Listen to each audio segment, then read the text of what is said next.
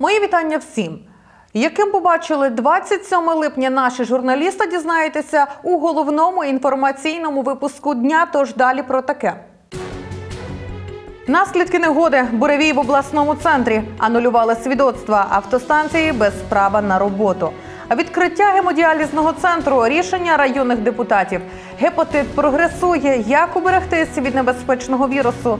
Мальтійська допомога, швейцарські ліжка у шпиталі, священик-вихователь, духовний наставник і батько, діти без мрії, закритий комплекс.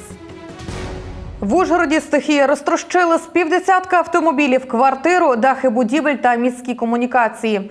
26 липня внаслідок погіршення погодних умов, що супроводжувалися сильними опадами та поривами вітру, повалило дерева, а місто після зливи перетворилося на Венецію.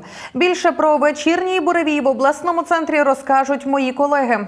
Повалені дерева, розтрощені автомобілі, зруйновані лінії електричних передач та рекламні білборди. Це наслідки буревію, які вчора пронісся обласним центром. Найбільше постраждала центральна частина міста. Тут стихія виривала дерева з корінням, не кажучи про десятки поломаних гілок. На жаль, з корнем вирвало 14 дерев. Е, Взагалі по центру міста було 70 дерев пошкоджено, а саме зламані скелетні гілки. Це такі великі гілки, це не маленькі, якісь дрібненькі. Негода лютувала близько 30 хвилин, після чого ліквідовувати наслідки було негайно направлено рятувальників ДСНС та комунальні служби. До вечора більшість повалених дерев вдалося прибрати. Однак наслідки негоди ужгородці могли побачити і сьогодні. Комунальні служби і надалі прибирають з вулиць гілки дерев. Загалом рятувальники прийняли вісім викликів від громадян. Підрозділами ДСНС виконано 8 заявок, здійснено е, виїзди у 8 місць, е, так як місця, де поступали е, звернення громадян. Ну, найбільше було зафіксовано це в районі вулиці, вулиці Феденця. Там стара липа впала і відповідно пошкодила три е, транспортні засоби, які були е, припарковані біля неї. Не обійшлося і без матеріальних втрат. Повалені дерева потрощили чотири автомобілі. Також було частково пошкоджено балкон однієї із багатоповерхівок. І якщо міська влада в останньому випадку надасть матеріальну допомогу із відновлення балкону, то власники автомобілів можуть розраховувати тільки на страхову компанію. Громадянці, що пошкоджено балкон, їй буде надано матеріальну допомогу. А на рахунок автомобіля їм треба звертатись в страхові компанії, тому що це було стихійне лихо. Це не по вині якихось певних організацій. Це не було не планові, це було стихійне лихо. Дерева, які попадали, вони не були аварійними, вони були здоровими, з нормальною корневою системою. Вчорашній буревій був локальним та завдав шкоди тільки обласному центру. На щастя, ніхто із людей не постраждав. Як зазначили в управлінні ДСНС в області, випадків будь-яких пошкоджень стихією не зафіксовано. Восьми закарпатським автостанціям анулювали свідоцтва на право роботи. Про це декілька днів тому заявив у соціальній мережі Фейсбук керівник управління Укртрансбезпеки у Закарпатській області Сергій Слободянюк. Зокрема, чиновник повідомив про анулювання свідоцтва всіх трьох автостанцій обласного центру, а також Перечина, Міжгір'я, Воловця, Хуста та Рахова. Що це означає для самих пасажирів та як далі функціонуватимуть автостанції, дізнавалися мої колеги. Вісім закарпатських автостанцій не пройшли перевірку обласного управління Укртрансінспекції. За зверненням ОДА представники управління провели повну перевірку 21 автостанції щодо забезпечення всіма необхідними умовами згідно чинного законодавства. Бралися до уваги всі вимоги, які повинні бути при наданні послуг з пасажироперевезення. Так, серед порушень було виявлено відсутність критих платформ, пунктів невідкладної медичної допомоги, громадських вбиралень, обладнаних для людей з особливими потребами, необхідної візуальної інформації, а також невідповідність пандусі необхідним вимогам. період з 15 червня по 24 працівниками управління Укртрансбезпеки здійснювалася перевірка, тобто додаткове обстеження діяльності автостанцій на території Закарпатської області. Було перевірено 21 автостанцію. За результатами перевірки восьми автостанцій анульовані свідоцтва про, автостан... про атестацію даних автостанцій. Анульовані дозволи для роботи автостанцій для Перечина, Хуста, Рахова, а також селищ Міжгір'я та Волівця. Не обійшов цей список і Ужгород, в якому діють три автостанції, включаючи міжнародний аеропорт Ужгород, яким також було анульовано свідоцтво на право роботи. Знають про це й в Ужгородській міській раді, однак якось вплинути на ситуацію не можуть, оскільки всі три об'єкти вже давно приватна власність. Приватна структура, яка в минулому році також викупила і земельну ділянку, на якій знаходиться автовокзал. Тому я особисто не маю ніякого відношення до цієї земельної ділянки, до діяльності цього підприємства. І це е, ну, воно знаходиться на території міста. Звичайно, ми в курсі всіх подій, але е, місто не бере участі у цих е, процедурах, які Укрінспекція транспортна оголосила. Та, хоч свідоцтва і анульовані, автостанції надалі продовжують свою роботу. Як нам роз'яснюють в Укртрансбезпеці, все це через недосконалість законодавства. Свідоцтва надають право автостанції накладати на вартість перевезення певний відсоток, або ж як прийнято його називати, станційний збір. У випадку, якщо свідоцтво анульоване, автостанція такого права не має. Закривати ж автостанцію або робити інші дії вони не в змозі, і це не в їх компетенції. Нема чітко прописаної самої ситуації, тобто в разі анулювання свідоцтва, яка має бути послідовність подальших дій. Але якщо здійснити аналіз, то тобто самих нормативних документів, так, цих, то неможливо встановити сам станційний збір, відповідно, не можна визначити суму, вона має бути чимось обґрунтована. Відсутність самого свідоцтва про атестацію не дає можливості встановити розмір самого станційного збору. Варто зазначити, що із восьми автостанцій, у яких ліквідовані свідоцтва на право роботи, сім належать ПРАТ Закарпат Автотрансу. На жаль, дізнатися їхню думку щодо цієї ситуації ми так і не змогли через відмову спілкуватися з журналістами. Тож чи виправить всі недоліки приватне акціонерне товариство, покаже час. Наразі ж на самих пасажирах це не стало відчутно. Автостанції як працювали, так і надалі працюють. Депутати облради просять Кабмін не зволікати із виділенням 20 мільйонів на багатостраждальний Буштинський міст. На завтрашньому пленарному засіданні четвертої сесії Закарпатської облради краєві парламентарі будуть голосувати за звернення до уряду з проханням виділити кошти для завершення будівництва моста у селищі Буштино на автомобільній дорозі Мукачево-Рогатин-Львів. У документі, завчасно оприлюдненому на сайті облради, депутати просять негайно втрутитися у ситуацію та доручити Укравтодору включити до плану робіт на 2016 рік завершення будівництва зазначеного автомобільного мосту, передбачивши фінансування на проведення робіт та введення в експлуатацію у обсязі 20 мільйонів гривень. Нагадаємо, вчора, 26 липня, наші журналісти розповідали про аварійний Буштинський міст та заморожене будівництво нового протяжністю 169 метрів, готовність якого складає майже 90%.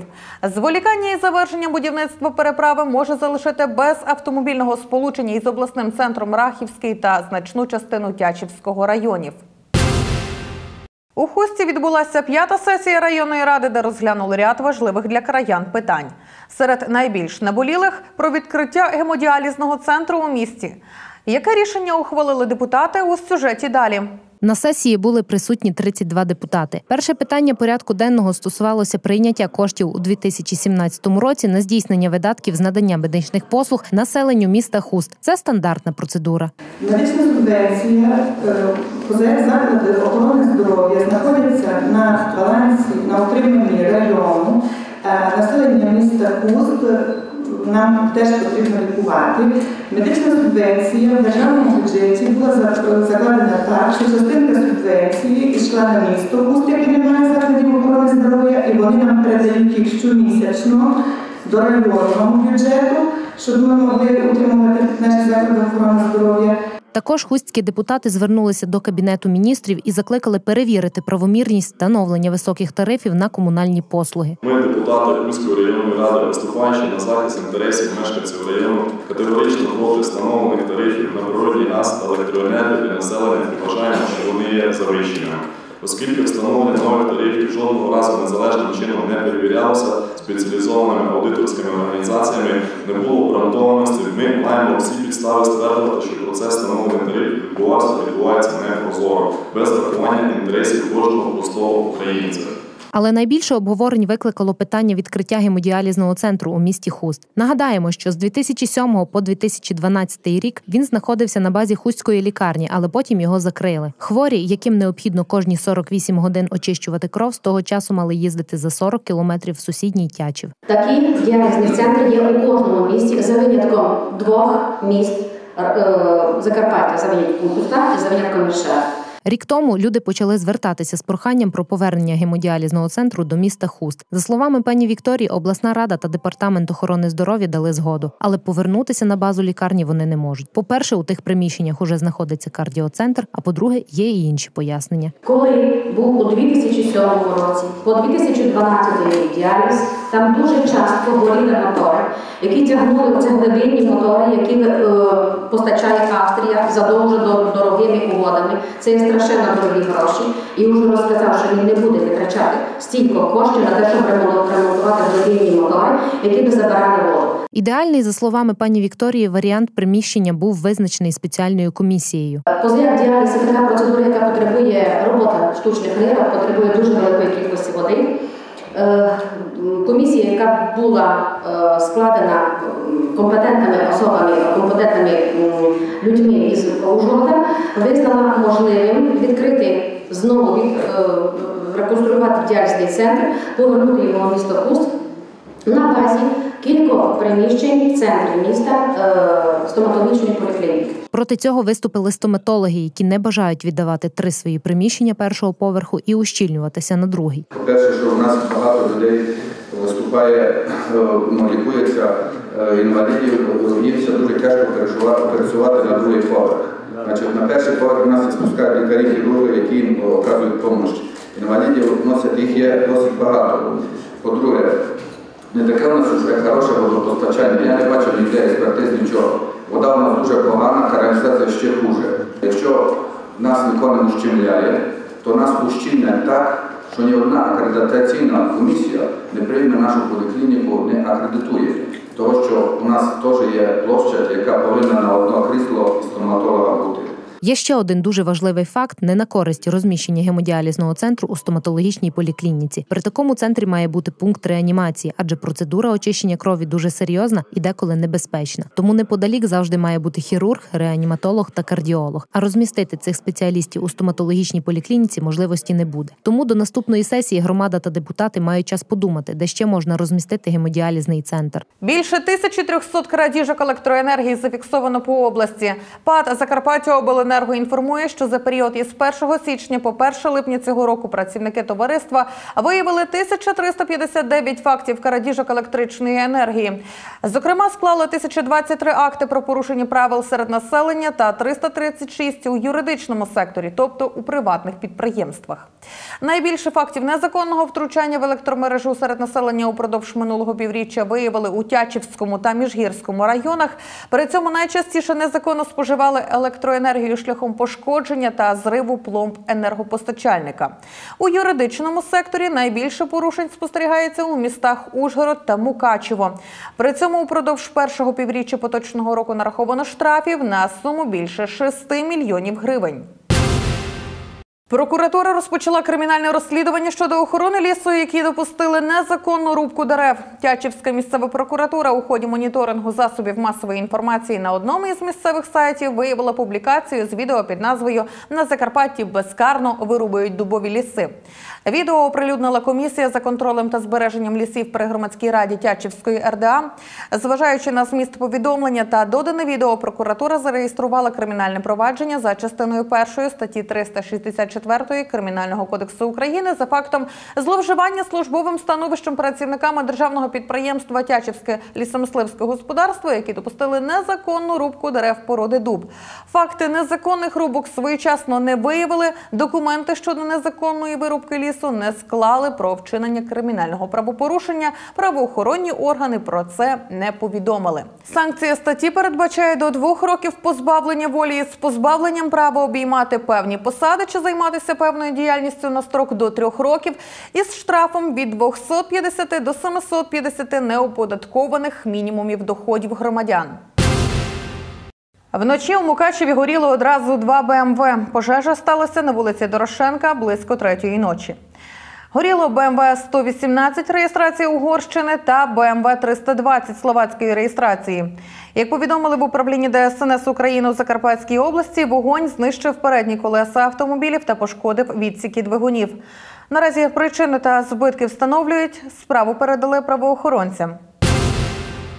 В Ужгороді до Всесвітнього дня боротьби із гепатитом медики розповідали про небезпечний вірус, його діагностику та лікування. За словами лікарів, наша область лідирує серед числа хворих на гепатит А. Основна причина це високий ступінь міграції. Окрім цього, у центрі міста лікарі проводили безкоштовну експрес-діагностику гепатиту для всіх охочих. На сьогодні саме на Закарпатті лікарі фіксують найбільше випадків захворювання на гепатит А по всій Україні, що у структурі захворюваності складає близько 80%. Інші 20% – це гепатити Б, С та Д. Медики гепатит А ще називають хворобою брудних рук, тому питання особистої гігієни чи не найважливіше у попередженні недуги. Захворюваність відбувається постійно. Вона е, ми не живемо в стерильному середовищі, і тут, напевно, я би 90% поставила свідомість громадян стосовно гепатиту А. Питання особистої гігієни це насамперед виховання в сім'ї, виховання в школі, в навчальних закладах різного характеру і так далі. Наразі ця проблема стоїть особливо гостро, адже станом на сьогодні із 86 спалахів по всій Україні 8 із них це гепатит А. Мовою цифр це 1815 осіб, коли за минулий рік були 923 випадки. Наразі проводять заходи із профілактики захворюваності на інші види гепатиту Б, С, Д та Е, які передаються через кров та ін'єкції. безпечна медична допомога і е, ті заклади, які активно сьогодні, е, так скажемо, заклади краси. Це пірсинги, татуажі, перукарні, е, різного е, роду салони краси, де так само робляться ін'єкційні процедури, аналогічні медичним процедурам. І таких об'єктів офіційно на обліку в області, наприклад, краси, так назвемо, 451.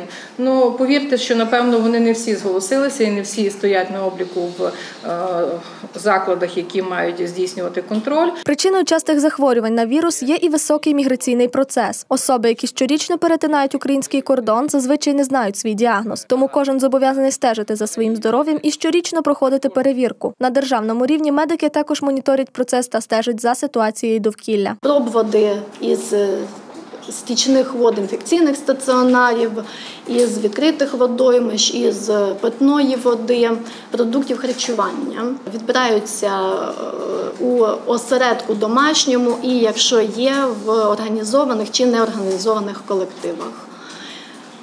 Також встановлюються е, контакти, проводяться протиепідемічні заходи, дезінфекційні заходи, роз'яснювальна робота, санітарно-гігієнічні заходи. Серед хворих на гепатити найбільше тих, у кого він хронічний це від 3 до 5 відсотків. Тому ця проблема є не тільки медичною, але й економічною. Не всі хворі мають змогу лікуватися за державні кошти. За 4,5 роки тільки за регіональні кошти медики пролікували більше 100 тисяч осіб, коли за державні тільки 16. Наразі ж очікуються торги по місцевій програмі закупівлі ліків, та з наступного року буде їх постачання за державний кошт. буде е, е, закуплено е, медикаментозні препарати і більш е, уже сучасні. Зараз у нас зареєстровані препарати, такі як софузбувір, який е, скорочує е, лікування е, хворих із 48 тижнів до 12 тижнів.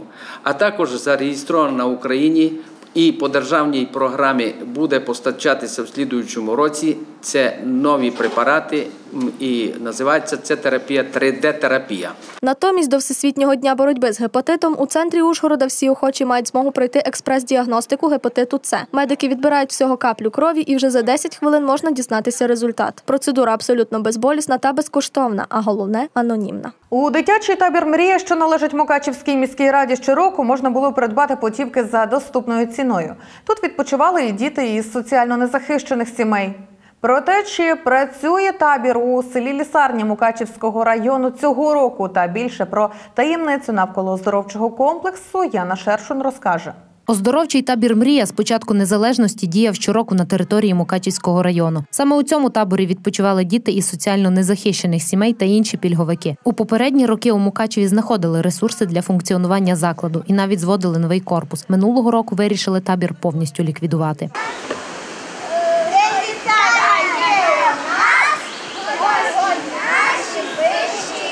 Прибувши на місце, де розташовувався табір, ми звичайно не побачили ні дітей, ні вихователів. Зустрів нас сторож, кілька телефонних дзвінків, і на територію нам вхід заборонили. Не пускати? А ви кому дзвонили? Тож подивитися, у якому стані наразі перебуває табір зблизька, не вдалося. До речі, гроші платників податків у мрію вливалися. Зокрема, у 2013 році із бюджету Мукачева на комплекс пішло 668 тисяч гривень. Ще 43 тисячі виділено із обласного бюджету. У 2014 році із бюджету Мукачева виділено 941 тисячу гривень. У 2015 році із міської казни на мрію спрямовано 277 тисяч гривень. А за інформацією із Мінсоцполітики у 2014 році із обласного бюджету Закарпаття виділено ще 400 тисяч саме на ремонт та реконструкцію будівель. Власне, і сам табір давав прибуток за рахунок продажу путівок. Так, у 2013 році їх продано на 421 тисячу гривень. Торік на путівках зароблено 681 тисячу гривень. Уже другий рік з невідомих причин не працює оздоровчий табір мрії. За словами завгоспа, об'єкт знаходиться у законсервованому стані, а всі питання радили задавати в управління освіти. На Закарпатті затримали групу нелегалів зі Шрі-Ланки, яка намагалася потрапити в Угорщину. Групу з п'яти осіб, що рухалася у бік державного кордону, прикордонний наряд відділу Лужанка виявив за допомогою тепловізора.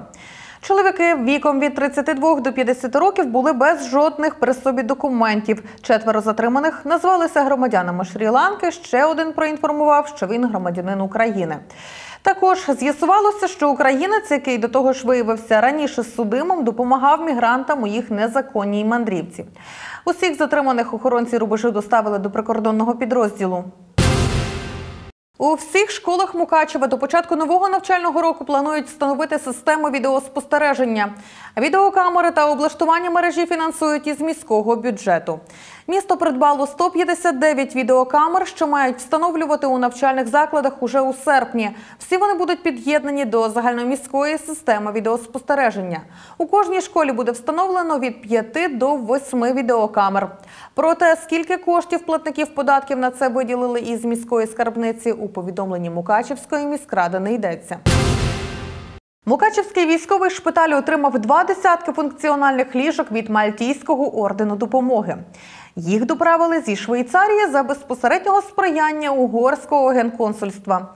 Ними укомплектують нове відділення, де проходитимуть лікування та реабілітацію бійці АТО. Мальтійський орден допомоги вкотре відгукнувся на прохання військового шпиталю і цього разу завіз такі потрібні в лікуванні спеціалізовані ліжка. Це багатофункціональне умеблювання, розраховане на пацієнтів з найрізноманітнішими травмами, аби полегшити їм стаціонарне перебування в медзакладі. Ellátogattunk ide, megmutatták az újonnan épült rehabilitációs osztályt. Будучи тут вперше, ми побачили, що нове відділення потребує медичного умеблювання. Тоді й вирішили допомогти. Ми знайшли в Швейцарії спеціалізовані ліжка в гарному стані. Поїхали в лікарню Женеви, де їх саме замінювали на нові. Загалом сюди привезли 24 ліжка. Вартість одного такого в Угорщині сягає мільйона форинтів. módon lehet őket emelni. Mindegyiket kipróbáltuk. Négy önkéntessel mentünk ki Genfbe, hogy ezeket összepakoljuk úgy, ahogy itt a képen a hátam. Подарунок зазвичай стримані військові оцінили досить високо. Тут кажуть, що від своїх чують тільки обіцянки і конкретної допомоги практично нема. Тому партнерством з європейськими організаціями дорожать. Радує те, що дійсно допомагають нам. Ми е, тільки що я був з консулом е, в відділенні новому, в неврологічному відділенні, відбудованому нещодавно. Він побачив, е, що дійсно потребуємо ми допомоги, потребуємо функціональних ліжок, потребуємо е, столів, стільців і також шкафів. Е, Відповідно до того, щоб було відділення е, нормально оснащене і функціонувало в нормальному режимі. Нове відділення спільний проект. Закордонних партнерів сюди запросили кілька років тому, і результат, як то кажуть, не примусив на себе чекати. Палати оновлені та облаштовані за євростандартом. Проте потрібно докласти ще багато зусиль, аби все умеблювати. І тут знову в нагоді стане Мальтійський орден допомоги. Доставити цінний вантаж сюди допомогли багато різних організацій та людей. Організувати подібне за день-два неможливо. Потрібен час. Ми підтримуємо зв'язок з шпиталем і вже знаємо, що їм потрібно. Тому в подальшому продовжуватимемо допомагати чим можемо. Закупівлю та трансфер цінного вантажу контролювали в генконсульстві Угорщини. Пан Йожев каже, все робиться в рамках програми лояльності, яку проводить їхня країна від самого початку конфлікту на Донбасі. Megnéztük azokat a lehetőséget, hogy milyen gyorsan Я намагався відшукати той шлях, яким чином можна найшвидше задовольнити потреби шпиталю. Тому ми і обрали саме Мальтійський орден допомоги.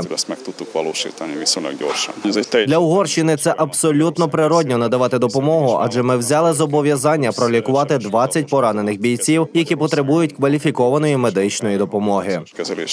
Наразі в госпіталі перебуває сотня військових, з яких половина бійці АТО, що зазнали поранень на фронті. Втім, для ефективнішої роботи бідкається начальник шпиталю. Заклад потребує тотальної модернізації устаткування та медобладнання. Нам конче потрібна це сучасна рентген-діагностична апаратура, це сучасні цифрові е, рентгенапарати, сучасна комп'ютерна діагностика і магнітного резонансу. Ну, звичайно, це вже для нашого острову буде розкіш, якщо буде е, магнітно-резонансний томограф. Але комп'ютерний томограф нам би пригодився дуже. Співпраця з міжнародними організаціями, як запевнили представники обох сторін, налагоджена та триватиме довго. У Виноградові священик виховує майже три десятки дітей з нелегкою долею. У будинку сімейного типу отця Василія та його дружини проживає 28 дітей, а скоро буде й 29. Духовний наставник поспілкувався з нашими журналістами та розповів, чому наважився на такий крок. Ця історія почалась у 2010 році. Отець Василій вже тоді почав обдумувати ідею проповідей для діток і наповнення, за його словами, їхніх душ любов'ю і добром. Нагода невдовзі випала. Отця Василія запросили для ведення бесід з дітьми токсикоманами у будинок соціально-психологічної допомоги. І я поставив лампадку і давай ми з дітьми молитися. Ранішні молитви, вечірішні молитви, давай до церкви, сповідуватися, причащатися. І я кажу, що примерно через дві, два місяці тим дітям клей був не потрібний. І я простий зробив прийом. Я заповнив просто ту пустоту добром. Тоді і виникла ідея побудувати будинок для дітей-сиріт. Я би виховував їх, як би я вважав потрібним. Я помолився і протягом майже 5-6 днів я купив цей фундамент, туди ще був фундамент і два участки. Скоро я збудував цей будинок, да, і Господь мені дав 12 дітей. Це спочатку було 12 дітей, тепер їх 28, включаючи 5 своїх. Хоча отець Василій каже, що вони вже всі для нього рідні. Більша частина взятих на виховання дітей мають психологічні проблеми, тому не так просто їм буде реалізувати себе в житті. Але запрошені спеціалісти працюють над тим, щоб максимально полегшити їхнє життя і інтегрувати у суспільство. Гарний такий, бачите, хлопчик, який потребує спеціальної освіти. О, так потихеньку. Ми з ним навчаємося, звуки деякі говорити, але, на жаль, мові ще вони не скоро будуть. Але Міша піде до інклюзивного класу. Ми вже розмовляли з відділом освіти. І я думаю, що до професії робітника його підготують все-таки. Приготували свої пальчики. І вони що? Говорять добрий день, да? Давай. Здравствуй. Здравствуй. Здравствуй. Щодо самих вихованців закладу, то в кожного з них своя сумна і нелегка історія. Вікторія найстарша серед дітей, ледве врятувалася від п'яного відчима. Маму дуже страшно бив, а я хотіла захистити, а він як обернувся та хотів на мене на шию. У Романа також не було спокою у попередній родині. Я вже тут 4 роки. Е, Мене забрали, та бо в мене була погана сім'я і таке, всякі там сважались, батьки, таке. Але тут життя набагато краще, запевняють діти. Забрали мене сюди, я вже дуже сюди хотіла йти. Е, Потім ну, і другий, Віка, Юра, і Анастасія, і Іван хотіли теж сюди їхати. Ну, ну, нас потім сюди забрали, і мені тут дуже любиться. Мене взяли з Берізка. Я, я директор курей, сокочу їх, е, посуду мию, хазяйка. Так мені це тут любить. Отець Василій каже, держава допомагає з найнеобхіднішим, а додатковий заробіток, з якого родина може більш-менш нормально себе утримувати, одержують з пекарні, яка знаходиться у селі Хєжа. На досягнутому святий отець спинятися не збирається. Якщо буде де розмістити дітей, готовий прийняти ще. На Закарпатті знайшли блакитну лагуну. Нову туристичну принаду нашого краю нещодавно виявили користувачі соцмереж. Лагуна, що заховалася у Закарпатських горах, поки маловідоме місце для туристів. Відео блакитної лагуни оприлюднив у мережі інтернет Ужгородець Юрій Ярухович. Нова туристична родзинка розташована у лісовій місцевості за кілька кілометрів від села Чорноголова Великоберезнянського району на річці Лютінка. Тут вода із гір невеликим водоспадом потрапляє у розширену заплаву між двома скелями. Це і є Закарпатська блакитна лагуна. На цьому у нас все. Будьте інформованими і не перемикайтесь. Дякую за увагу. На все добре.